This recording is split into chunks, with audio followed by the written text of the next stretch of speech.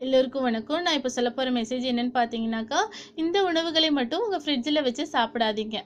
சாதாரணமாகவே நம்ம என்ன பொருள் வாங்கிட்டு வந்தாலும் உடனே ஃப்ரிட்ஜில் வைக்கிறது தான் வழக்கம். அப்படி ஃப்ரிட்ஜில் வச்சு சாப்பிட்றதுனால இதய பிரச்சனைகள் கொலஸ்ட்ரால் உயர் அழுத்த பிரச்சனை புற்றுநோய் போன்ற பல பிரச்சனைகள் ஏற்படுது. அதில் சில பொருட்களை ஃப்ரிட்ஜிலேயே வச்சு சாப்பிடக்கூடாதாமா? அது என்னன்னு பார்த்தீங்கன்னா வெள்ளை பிரெட் ஏற்கனவே வெள்ளை பிரெட் வந்து ஆரோக்கியமற்ற உணவுப் பொருட்களோட பட்டியலில் சேர்ந்துருச்சு. ஏன்னா இதில் நார்ச்சத்துக்கள் சுத்தமாவே கிடையாது. அத்தகைய வெள்ளை பிரெட் பலரும் ஃப்ரிட்ஜில் வச்சிருப்பாங்க. உங்கள் வீட்டில் இருந்துச்சுன்னா அதை உடனே தூக்கி தூர எறிஞ்சிறது நல்லது.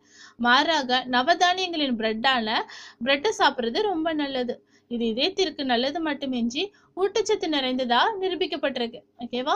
அடுத்ததா கொழுப்பு குறைவான தயிர். கொழுப்பு குறைவான தயிர் பால் போன்றவற்றை ஆரோக்கியமானது என்று நினைக்காதீங்க.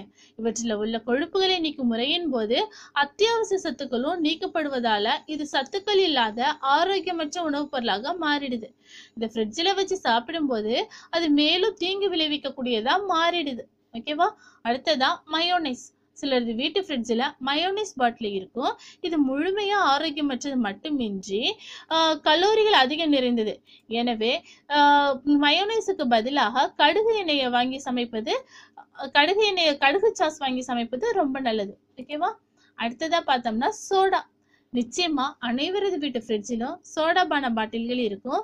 சாதாரணமாகவே சோடா ஆரோக்கியமற்றது தான்.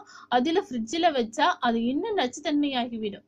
எனவே இப்படிப்பட்ட பானங்களை வாங்குவதற்கு பதிலாக பழச்சாறுகளை தய தயாரித்து சர்க்கரை சேர்க்காம குடிக்கிறது ரொம்ப நல்லது. அடுத்ததா பதப்படுத்தப்பட்ட இறைச்சி. பதப்படுத்தப்பட்ட இறைச்சி வீட்டு ஃப்ரிட்ஜில் இருந்துச்சுன்னா அதை உடனே தூக்கி போட்டுருங்க. ஏன்னா இந்த உணவுப் பொருளில் கார்சி கார்சினோஜெனிக் என்னும் புற்றுநோய் உண்டாக்கும் பொருள் இருப்பது நிரூபிக்கப்பட்டிருக்கு. எனவே நம்ம என்ன இறைச்சி சாப்பிட்ணும் ஃப்ரெஷ்ஷாக அப்போ அன்னைக்கு அன்னைக்கு அறுக்குறாங்க பார்த்தீங்களா இறைச்சி? அதை வாங்கி சாப்பிட்றதா ஃப்ரெஷ் இறைச்சி சாப்பிட்றதா மீட்டை சாப்பிட்றதா நமக்கு நல்லது. ஓகேவா? பதப்படுத்தப்பட்ட இறைச்சியை எக்காரணத்தை கொண்டு வாங்காதீங்க. அதை தயவு செய்து ஃப்ரிட்ஜில் வச்சு சாப்பிடாதீங்க. ஓகேவா? இந்த மெசேஜ் உங்களுக்கு ரொம்ப ரொம்ப யூஸ்ஃபுல்லாக இருக்கும் நம்புகிறேன் பிடிச்சிருந்தா லைக் பண்ணுங்கள் ஷேர் பண்ணுங்கள் மறக்காமல் கீழே உள்ள சப்ஸ்கிரைப் பட்டனை சப்ஸ்கிரைப் பண்ணுங்கள் தேங்க்யூ